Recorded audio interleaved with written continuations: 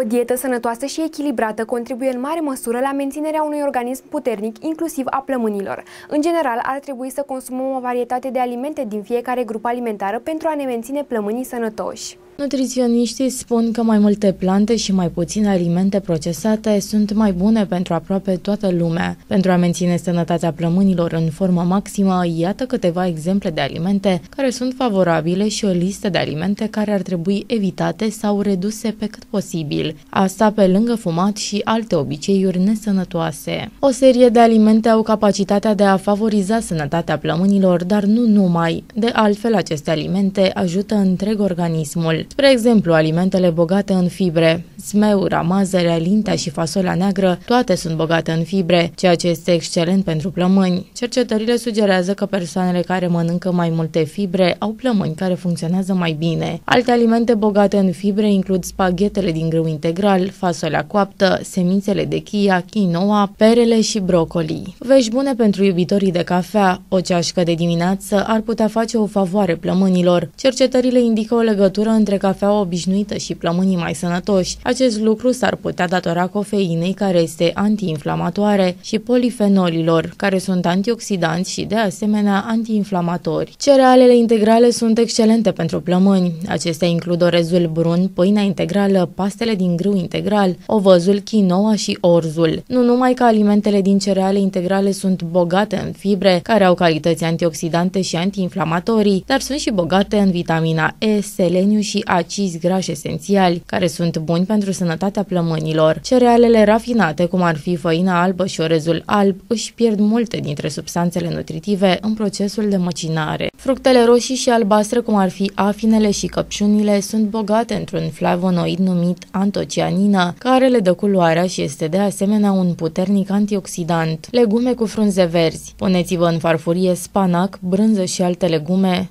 cu frunze verzi și ați putea reduce riscul de a face cancer pulmonar. Cercetările sugerează că laptele și brânza, iaurtul și alte produse lactate pot reduce riscul de a muri de cancer pulmonar. Roșiile sunt cea mai bogată sursă de licopen, care este legat de sănătatea plămânilor. Consumul de roșii și de produse pe bază de roșii, cum ar fi sucul de roșii, poate îmbunătăți inflamația căilor respiratorii dacă suferiți de astm și poate scădea riscul de deces dacă aveți o boală pulmonară obstructivă ulcerozivă cronică. Unele alimente, oricât de gustoase ar fi, trebuie limitate, dacă nu este posibil să fie eliminate complet din alimentația noastră. Studiile arată că există o legătură între carnea procesată sau conservată și o mai proastă funcționare a plămânilor. Faceți o favoare plămânilor și înlocuiți băuturile răcoritoare cu apă. Un studiu a constatat că adulții care au băut mai mult de 5 băuturi răcoritoare îndulcite pe săptămână au fost mai predispuși la bronșită continuă, iar copiii au fost mai predispuși la as. Puțină sare adaugă savoare, dar mai multă sare sporește riscul de a avea probleme pulmonare. Persoanele care mănâncă multă sare sunt mai predispuse să aibă bronșită pe termen lung, relatează adevărul.ro.